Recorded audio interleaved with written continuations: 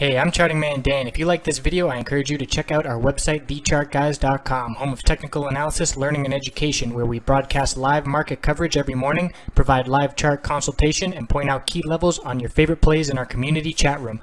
Why not check out our free trial and join the best technical analysis community online? FSLR on the daily and weekly time frame. We had that rejection from the 10-day moving average resistance yesterday, that long upper wick with lots of profit taking.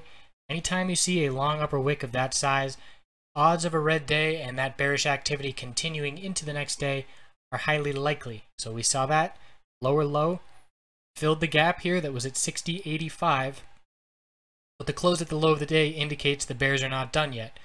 We will see if this low here holds. It's a must hold level. We had a low of 59.63, 59.50.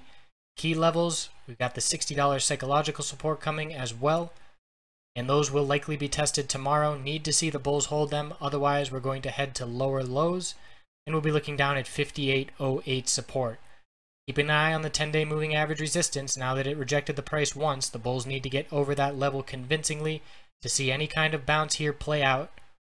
On the weekly, we were seeing a potential bullish reversal doji, no longer the case. We'll have to see how tomorrow goes. If we close around $61, it will be a bullish reversal doji we can see these higher lows are still intact, even though we did consolidate pretty significantly.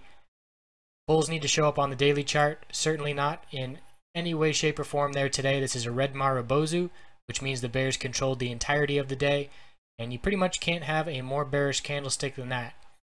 So we'll see what tomorrow brings. We'll see where the bulls can find support. TheChartGuys.com is the website. Free trial, no credit card required.